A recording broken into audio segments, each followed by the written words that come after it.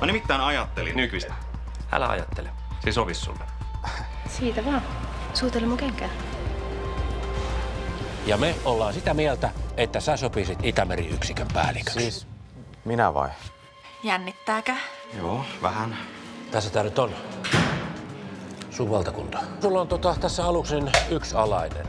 Härkönen, Nyqvist. Meillä on vieraan vallan sukellusvene jemmassa meidän aluevesillä, eikä me tiedetä tarkalleen missä. Har du någonsin tänkt på att din man kanske inte är den du tror att han är?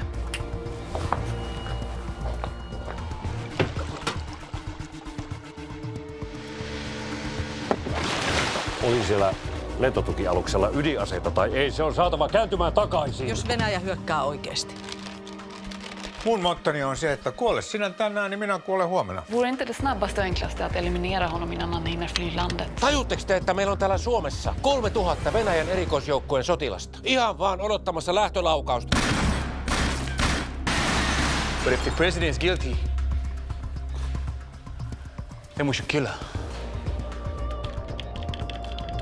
Tässä on kehkeytymässä suurvalta selkkaus, joka voi kääntyä ihan mihin suuntaan tahansa. Se on salainen asiakirja. Mä olen salaisen palvelun päällikkö.